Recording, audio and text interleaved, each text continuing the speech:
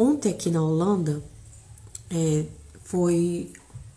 tá sendo rebuliço, porque imagina um homem muito famoso na televisão, mas pensa no rapaz de 22 anos, famosíssimo na televisão.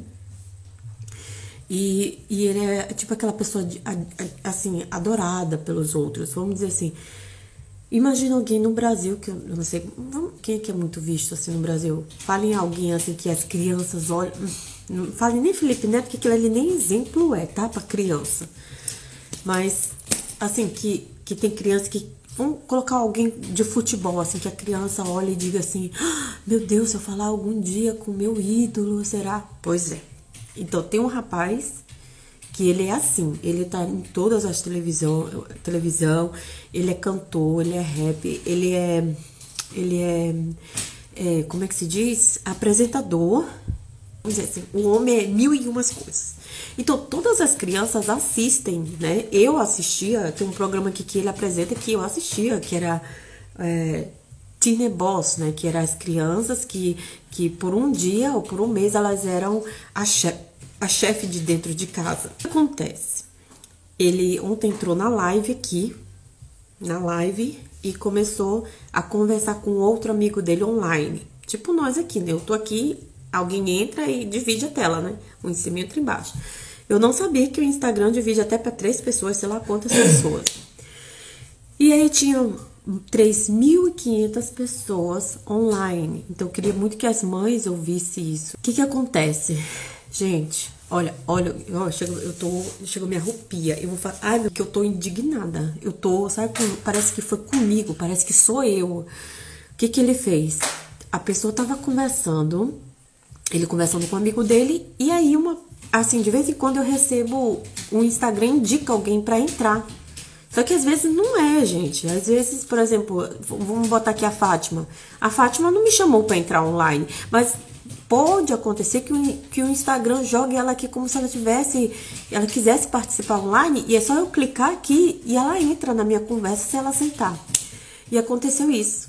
Então, ficou três pessoas, esses do, dois adultos, amigos, e entrou essa criança de 12 anos. O que, que aconteceu? 3.500 pessoas online assistindo esse cara de 22 anos com uma brincadeira idiota idiota disse pro menino, começou a conversar com o menino e fez a brincadeira idiota que era pro menino mostrar o Bilal, que se ele mostrasse o Bilal dele, ali, gente, aqui do jeito que eu tô falando, se ele mostrasse o Bilal dele, ele ia ganhar 17 mil euros.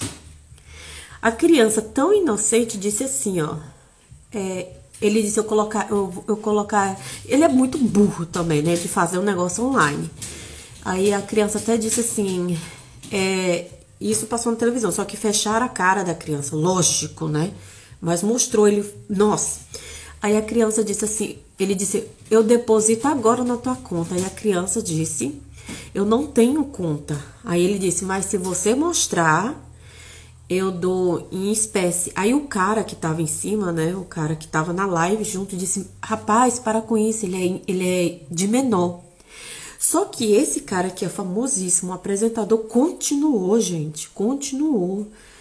E a criança, gente, a criança, quando ela é influenciada, né? Que ela, vamos dizer assim, a, ela, ela é fã de alguém, ela, ela praticamente não consegue dizer não.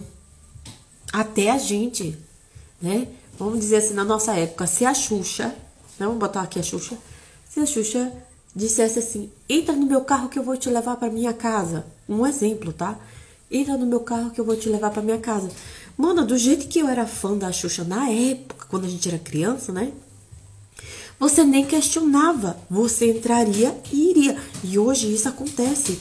Tem crianças que são é, tão influenciadas que elas não ela, ela, ela, não, ela fica emboscada, ela não tem aquela aquela de dizer não, por isso que eu vim alertar as mães. Eu já digo logo assim, eu até falo isso comigo, de menino de 11 anos andar com o celular para cima e para baixo, você não sabe com quem ele tá falando. Esse menino tava no quarto dele, tá? para ele estar tá com o celular ali naquele horário que já era de noite, ele estava no quarto dele assistindo uma live como vocês estão vendo a minha live agora. O cara entrou, eles estavam conversando e eu vou falar outra coisa muito importante aqui para vocês. Ele estava assistindo a live e aí ele entrou e o menino foi. Gente, foi tão, foi tão triste o que aconteceu. Chega, nossa, eu, eu, eu vi assim. Parecia que era o meu filho, assim, sabe? Me, me parte até o coração de ver. E aí o cara falou novamente: se você mostrar seu Bilal, eu lhe dou 17 mil euros. A criança, gente, literalmente, a criança contou até três. Primeiro ela, ela disse assim: é, é, espera aí. Aí ele, mostra, mostra. Olha que brincadeira idiota. Mostra, mostra. Gente, a criança contou 3, 2, 1 e mostrou. Imagina, se põe no lugar de uma criança de 11 anos, na frente de 3.500 pessoas, online, mostrando Bilauzinho, porque um famosinho disse que ela tinha que mostrar. Gente, na mesma hora, o cara disse assim. O cara disse assim: ai, era uma brincadeira, a gente não vai te dar o dinheiro e começar. Sabe quando alguém ri da tua cara? Gente, foi tão constrangedor para essa criança que, que eu, eu, ainda não descobriram quem é a criança, sabe? É, é, talvez ela, os pais, né? Por isso que eu digo assim, os pais não sabem que ela estava falando com ele online. A carreira desse cara acabou, ele foi cancelado, literalmente cancelaram. Pensa no, vamos dizer assim, no Neymar sendo cancelado em torno de três horinhas, foi cancelado, cancelado e ele tem que ir para cadeia. Por quê? É, se tornou algo, né, que eu não posso falar o nome aqui, é, a criança literalmente mostrou. Agora eu vou entrar aqui no, no, no assunto entre nós. Gente, não pense que isso não pode acontecer com, com alguém ou com nossos filhos. A polícia, ele foi na hora, ele foi, ele e o amigo dele foi chamado para a polícia. Eles estão, eles estão dando depoimento e tudo. Mas não pense. Deixa eu te falar uma história que aconteceu com meu filho, tá? Por isso que eu tô muito mais indignada. Por isso que é, você tem que é, conversar com seus filhos. Por exemplo, minha mãe, ela era muito aberta em dizer a realidade. Não tem esse negócio de cegonhinha que trouxe, porque você mostra logo, mano, é isso, é isso, é isso, isso e isso. Então, meus filhos, olha, eu sendo muito sincera com os meus filhos, eu, eu já dizia assim, ó, presta atenção. Se alguém te chamar que vai te dar um bombom, corre. Corre, tá? Corre. Os meus filhos, eu ontem mostrei aqui, cada um tem um celular. Pensa esse celular tem que pedir para usar e se usar é aqui na sala, nada de levar celular para quarto, tá falando com quem? Entendeu? Mexendo no computador, meu marido tá bem aqui, trabalha bem aqui, bem aqui. É virado o computador para nós para ver com quem tá falando. Se entrar no YouTube, qualquer coisa que mexer aqui, eu sei o que tá mexendo. A gente não, a gente não é Deus para saber o que, que a criança tá fazendo, mas gente, presta atenção. Eu prefiro que seja dentro da minha casa, pra me ficar de lado. Que negócio de menino tá na casa dos outros, não sabe por onde é que esse povo anda, o que, que, que, que, que essas crianças fazem. Quer brincar? Seus amiguinhos vão brincar aqui dentro. Nada de eu ficar brincando na casa dos outros de jeito nenhum. O que, que aconteceu? é, apareceu um menino aqui. E o menino brincando, brincando, brincando, e eu, né? De boa, enquanto tiver debaixo dos meus olhos, a gente vai brincando. Gente, vocês têm que saber também conversar com seus filhos em, em relação assim, ó. Eu digo para os meus filhos o seguinte: é, eu tenho que sair já já. Eu digo para os meus filhos o seguinte: olha, se você mentir, eu vou ficar louca aqui. Mas se você falar a verdade, por mais que o negócio não seja bom, mamãe não vai brigar, tá? Mamãe vai conversar, a gente pode ver o que, que a gente pode fazer de melhor para que isso não aconteça mais. Então é dessa forma que eles falam, sabe? Tem vezes que eles até usam isso, como, né? Por exemplo, eles, sei lá, fizeram alguma coisa e eles já dizem logo, mamãe prometeu que a senhora não vai brigar comigo se eu falar a verdade, né? Não. Às vezes eles fazem com que à vontade, mas como eu prometi, e isso cria um círculo de confiança. Você tem que confiar, tá? Você tem que dar para que o seu filho confie em você. Isso é muito importante que confie. E aí, gente, é, aqui é assim, minha vizinha aqui perto, se o meu filho, os meus filhos forem para lá, tá aí, tá. Se, ela, se a filha dela vir para cá com o irmãozinho dela, tá aí, tá. A gente fica se monitorando todo o tempo. E olha que é duas casas só, viu? Mas ó, de olho. Meus filhos sumiu aqui, eu vou saber com quem tá, com quem tá falando, quem é, né? Por isso que eu digo, tem que ter noção, tem que saber o que que seus filhos estão fazendo por aí. E aí, o que que aconteceu? Apareceu um menino por aqui. E esse menino anda pra cá e pra lá, pra cá e pra cá. Quando eu vi, esse menino tava com celular. Eu já, menino dessa idade, menino de 8 anos, com celular pra cima e pra baixo, ó. O que, que esse menino tá fazendo com esse celular? Mana, esse menino saiu com esse celular, esse outro menino saiu com esse celular. Meu filho chegou aqui louco, louco. E ele, mamãe, eu tenho que te falar, mas não vai ficar com raiva, não. Não.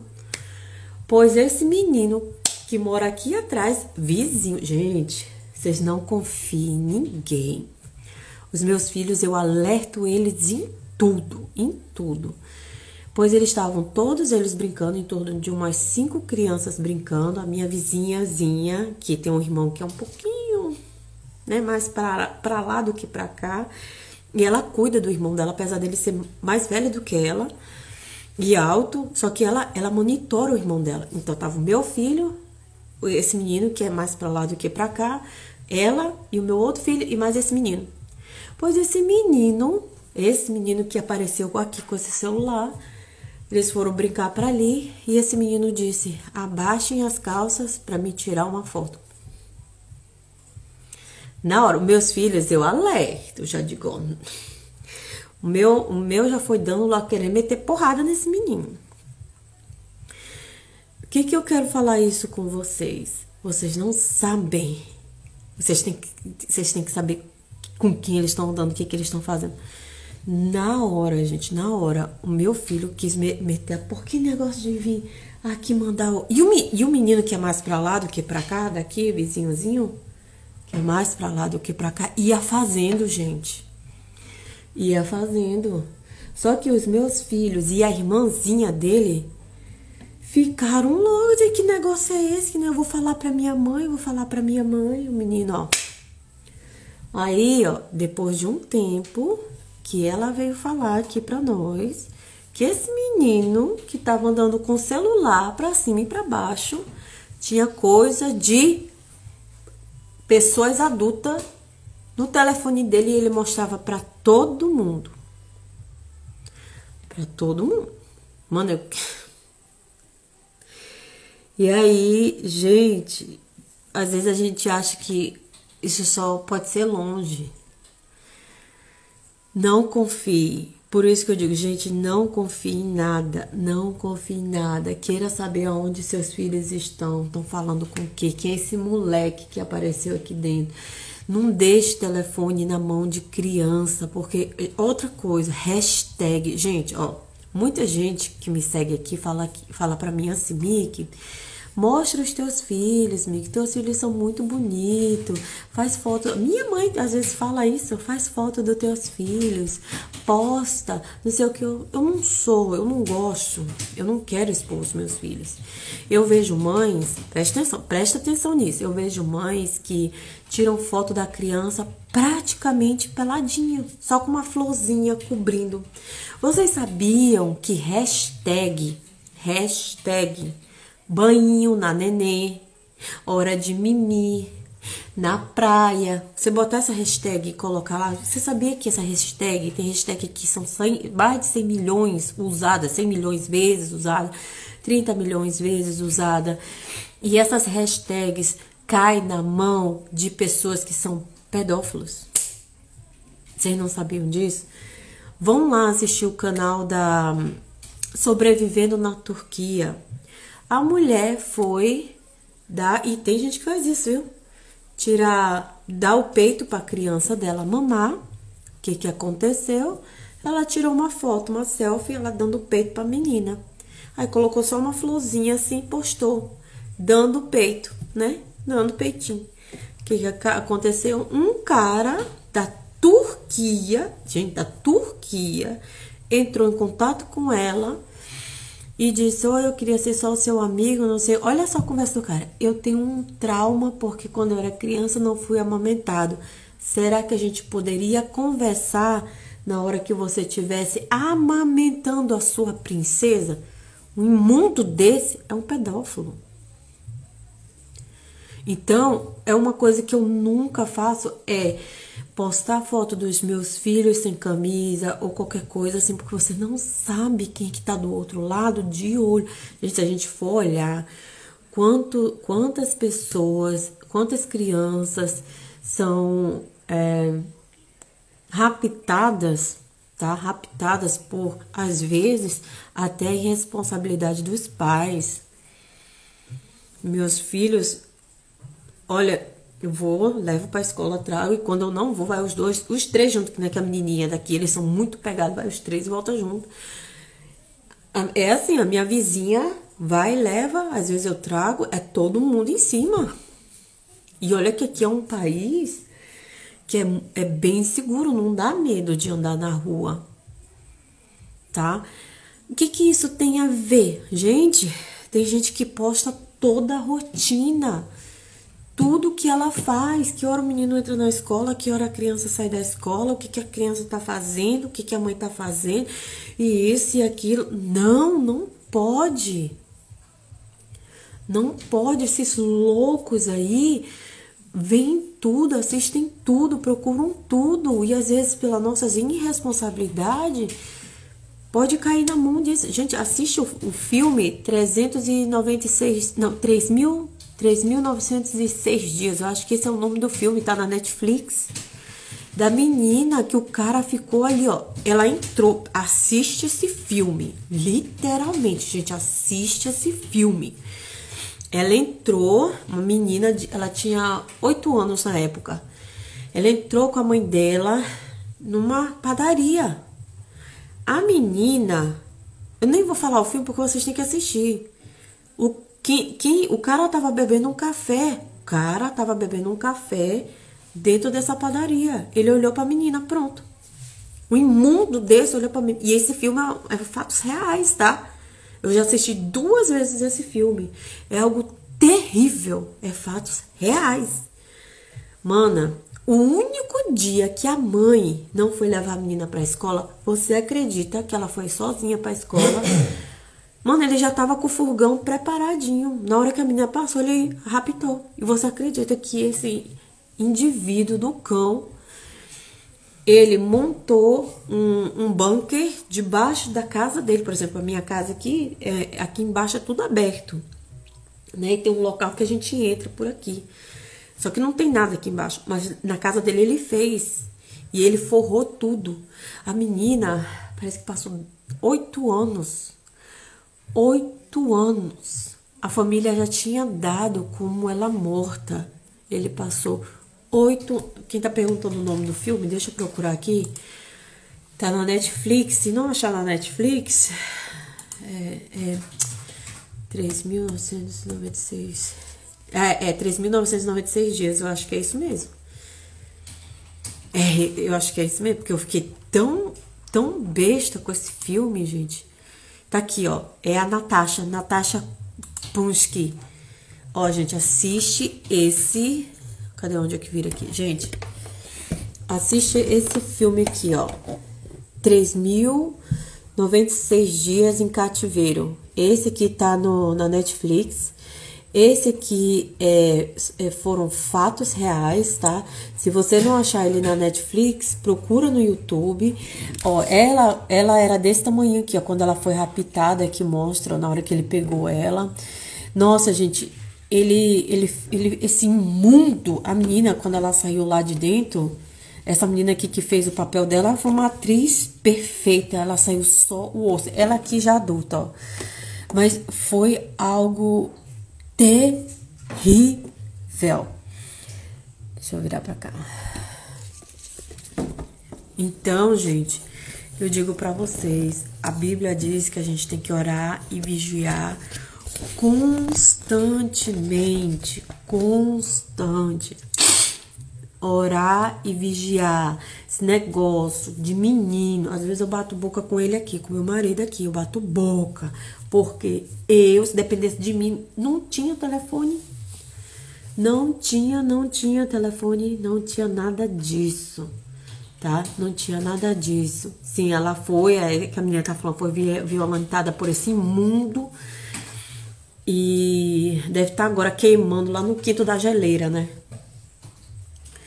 E foi muito triste, sabe?